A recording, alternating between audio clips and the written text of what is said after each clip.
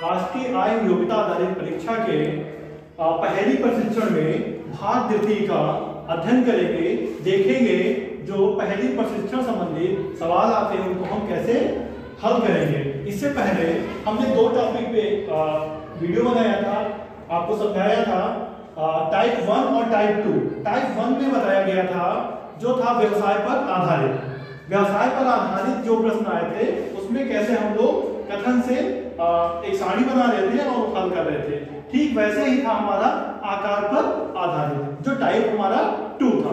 आज हम लोग बात करेंगे टाइप थ्री पर जो खेल पे आधारित हमारा आ, सवाल आएँगे उसको हम लोग कैसे सॉल्व करेंगे। यहाँ पे समय आपका बचे इसमें मैंने पहले से ही एक प्रश्न नोट कर रखा है कि आ, जो खेल संबंधी है ए बी सी डी तथा ई पाँच खिलाड़ी हैं।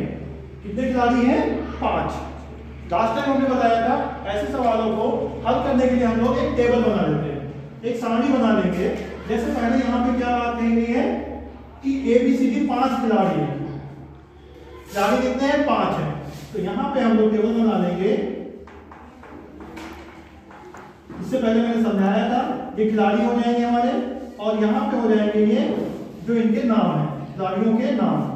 खिलाड़ियों के नाम। खिलाड़ी कौन कौन से हैं? ए बी सी डी और ई ये पाँच लोग हमारे खिलाड़ी हैं। अब हम बात करेंगे पाँच खिलाड़ी जो है, पाँच प्रकार के खिलाड़ी हैं। इसमें कौन कौन से खेल खेलते हैं?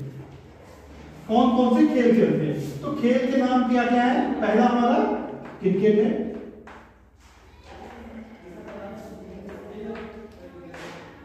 ठीक है ना? क्रिकेट है।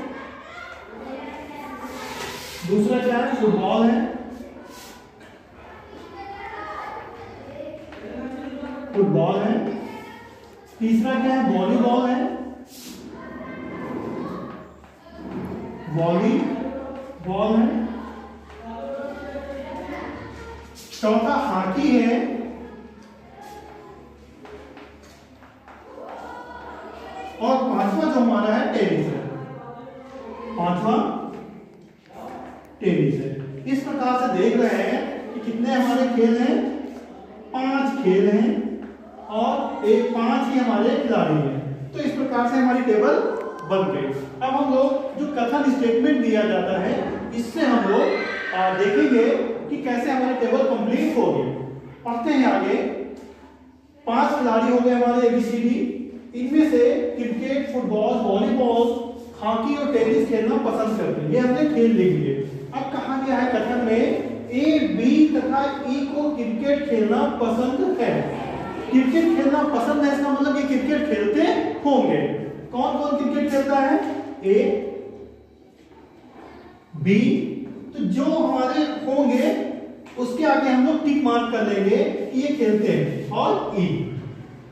तो तीन लोग हैं, ए, बी और ई, जो क्रिकेट खेलते हैं। आगे बढ़ते हैं। जबकि ए सी और ई e, फुटबॉल करते हैं। अब फुटबॉल पे आएँगे ए सी और ई e, ये क्या खेलते हैं? फुटबॉल खेलते हैं। क्या कहते हैं? फुटबॉल आगे आते हैं। बी और डी वॉलीबॉल खेलते हैं। बी और डी बी और डी क्या खेलते हैं? वॉलीबॉल खेलते हैं। ठीक इसी प्रकार हम लोग देखें आगे। डी और ई को बैडमिंटन खेलना पसंद है। डी और ई को बैडमिंटन अब बैडमिंटन यहाँ पे जैसे लिखा हुआ है बैडमिंटन यहाँ पे टेनिस मान लेंगे, क्योंकि टेनिस और बैडमिंटन को लिख दिया गया है। तो यहाँ पे हम लोग करेंगे बैडमिंटन कर देंगे, और या तो हम वहाँ पे टेनिस को बैडमिंटन कर देंगे, ठीक है ना? डी और ई बैडमिंटन खेलना पसंद करते हैं। तो यहाँ पे बैडमिंटन है तो यहाँ पे भी हम लोग क्या कर देंगे? बैडमिंटन कर देंगे। बैडमिंटन ओके अब बैडमिंटन खेलने वाले कौन थे डी और ई लास्ट में हम लोगों ने स्टेटमेंट है ए और सी हॉकी खेलते हैं। ए और सी हॉकी खेलते हैं। तो ए वाला कॉलम हमारा ये हो गया ये हो गया। थोड़ा इसको नीचे करते हैं कि पता चले, ये हो गया हमारा, यहाँ पे ये हो गया, यहाँ पे ये हो गया, ये हो गया और ये हो गया। इसके बाद में हॉकी के लिए हमारा ये हो गया।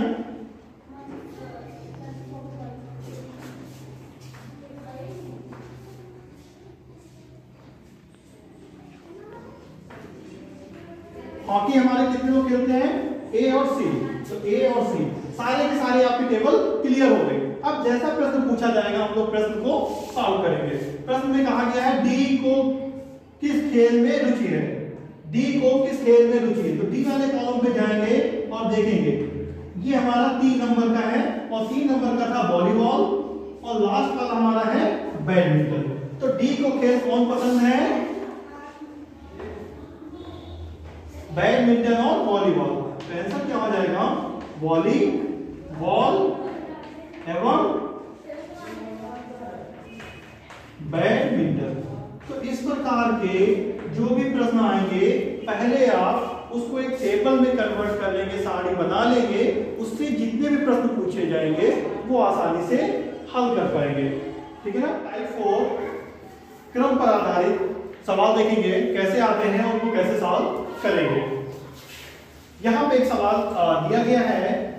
छह, छात्राओं के नाम कक्षा में इस प्रकार पुकारे जाते हैं कि अनुराधा का नाम कशिश से पहले और लक्ष्मी का नाम राधिका के बाद लिया जाता है। मतलब कुछ एक क्रम दिया गया है कि किसका नाम पहले आता है और किसका नाम बाद में आता है। तो ऐसे सवालों को हम क्रम पर आधारित सवाल मानते हैं। उसको सॉल्व करने के लिए हम लोग एक क्रम एक लाइन खींच लेते हैं स्तंभ बना लेते हैं, और इसके जितने नाम दिए जाते हैं जैसे छह नाम दिए गए तो हम लोग छह डॉट यहाँ पे बना लेंगे एक, दो, तीन, चार, पाँच, ठीक है ना? और ये छह डॉट हो गए हमारे इससे हमें पता चलेगा कौन सा डॉट कहाँ किसके नाम पे आएगा। अब पहले कहा गया है अनुराधा का नाम कशिश से पहले। इसका मतलब कशिश से पहले नाम किसका आता है? अनुराधा का। तो अनुराधा का नाम होंगी, ऊपर होंगी हम मान लेते हैं कि थोड़ी देर के लिए अनुराधा यहाँ पे है तो अनुराधा का नाम कशिश से पहले आता है तो कशिश का नाम कहाँ आएगा? बाद में आएगा। एक चीज़ हमारी होगी पहले यहाँ से। अनुराधा का नाम कशिश से पहले और लक्ष्मी का नाम, लक्ष्मी का नाम राधिका के बाद। तो लक्ष्मी का नाम जो है राधिका के बाद आता है। तो लक्ष्मी और राधिका कहीं पे भी मिल नहीं जाते हैं आगे देखते हैं। कशिश का नाम राधिका से पहले। कशिश का नाम राधिका से पहले।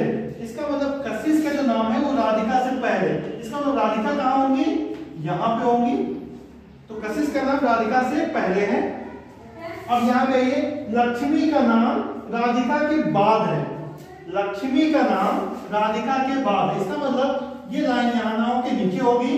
तो लक्ष्मी का नाम राधिका के बाद में। तो एक, दो, तीन, चार हमारे लोग हो गए, जबकि कितने लोग हैं? छह लोग हैं। अब आगे देखते हैं। सीमा को अनुराधा से पहले, सीमा को अनुराधा से पहले तो सीमा इसका मतलब पहले होगी। पहले, और रीना का लक्ष्मी के बाद लिया जाता है। तो रीना कहाँ जाएँगी? रीना बिल्कुल नीचे आ जाएँगी। रीना कहाँ गई बिल्कुल नीचे आ गई ये लाइन भी यहाँ से कर दिए। देखिए, छह हो गए हमारे। एक, दो, तीन, चार, पाँच और छह। कुल छात्राएँ छह थी हमारी, छह की हमने यहाँ पे अरेंजिंग कर ली। क्रम हमने कर लिया।